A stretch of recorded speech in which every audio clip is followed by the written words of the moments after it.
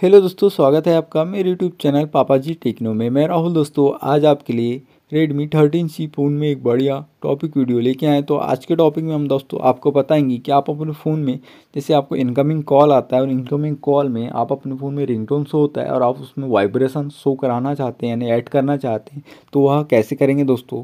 Please video पे बने रहिएगा और आप हमारे चैनल पे पहली बार विज़िट करें तो प्लीज़ दोस्तों वीडियो को लाइक कीजिएगा एंड चैनल को सब्सक्राइब करना बिल्कुल ना भूलिए। तो चलते हैं टॉपिक की ओर तो सेटिंग ओपन करेंगे। देन दोस्तों सेटिंग ओपन करने के बाद थोड़ा स्क्रॉल करते चलेंगे। और यहाँ पे हमें साउंड एंड वाइब्रेशन वाला ऑप्शन शो होता है तो इसे हम टैप करेंगे। देन टैप करने के बाद दोस्तों, थोड़ा स्क्रॉल करते चलेंगे। और यहाँ पे हमें वाइब्रेशन एंड कॉलिंग्स वाला ऑप्शन शो होगा। तो इसे जैसे ही आप टैप करेंगे बटन को तो आपके फ़ोन में वाइब्रेशन स्टार्ट हो जाएगा। जब भी आपको इनकमिंग कॉल आएगी तो आपको वाइब्रेशन मिलना स्टार्ट हो जाएगा दोस्तों।